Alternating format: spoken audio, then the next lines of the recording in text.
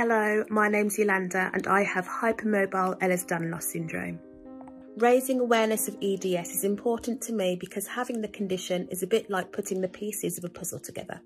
We know that our illnesses and symptoms link up in some way, but it's the how, why, where and when that we need to figure out, which is why research is so important. Ehlers-Danlos Support UK are a fantastic charity that offer help, guidance and support to those touched by Ehlers-Danlos syndrome. So if you or anyone else is suffering, please reach out because Ehlers-Danlos Support UK are here to help.